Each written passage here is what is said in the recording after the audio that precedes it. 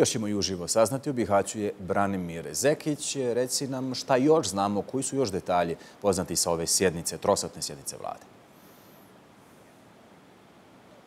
Saša, najvažniji je detalj da ipak neće doći do e, proglašenja izvanredne situacije, iako je bilo malo vjerojatno da će se to zaista i dogoditi. Čini mi se da je više bila riječ o nekoj e, poruci upozorenja centralnoj državi da treba intenzivnije i konkretnije reagirati u slučaju migrantske krize u Unsko-Sanskom kantonu. Kad govorimo o proglašenju kućnog reda, tehnički ono će krenuti sutra kad zasjeda kantonalna vlada, ona će uputiti zahtjev policiji, a policija će nakon toga u suradnji s Međunarodnom organizacijom za migracije i UNHCR-om usuglasiti na koji će se način ograničiti kretanje migranata. I s ove lokacije s koje se javljamo uz rijeku Unu u Bihaću. Dok se nismo uključili, e, šetalo je mnogo e, migranata. Oni su zbog e, višemjesečnog boravka ovdje i pod velikim stresom, pa je razumljivo da i njima treba vrijeme za relaksaciju. Međutim, uskoro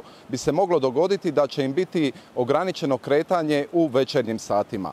Od ostalih mjera mogu reći da će od sutra kantonalne inspekcije mnogo rigoroznije kontrolirati privatne iznajmljivače Prema nekim procjenama e, više stotina, možda i tisuća migranata je u privatnom e, smještaju svih e, koji se uhvati da migrantima iznajmljuju privatni smještaj, obustavit će im se dozvola za rad. Evo koje je još mjere najavio kantonalni ministar.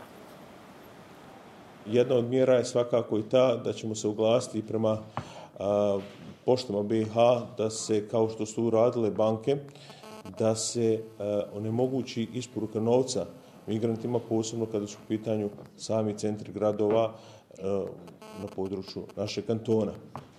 Poziv svakako, e, to je posebno komesar naglasio, će biti željeznicama federacije, a kada je riječ o najavljenoj novoj lokaciji prihvatnog centra za migrante Vučijak, nedaleko od Bihaća, i tu postoje problemi. Branimire, o čemu je riječ?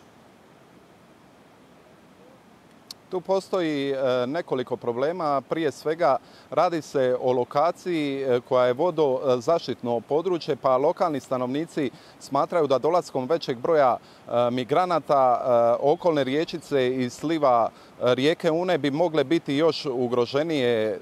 Stanovništvo se pita na koji način će se komunalno riješiti smještaj tolikog broja migranata. To sam pitanje danas na preskonferenciji postavio i bihačkom e, gradonačelniku, on je rekao zapravo da na kojoj god lokaciji e, se postavio novi prihvatni centar, da lokalno stanovništvo nikad neće biti zadovoljno. No ono što začužuje je donekle neumjereni optimizam gradonačelnika Fazlića koji kaže da bi postupak premještanja migranata u Vučak mogao krenuti već sutra. Bili smo na toj lokaciji, ona izgleda vrlo zapušteno, ondje je tek jedan bager i definitivno uskoro se neće moći dogoditi to preseljenje na Vučjak.